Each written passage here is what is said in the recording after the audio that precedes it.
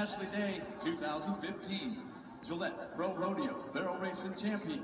She's on Queen of Bullets, a 2007 model. Seventh place at Montana Barrel Days.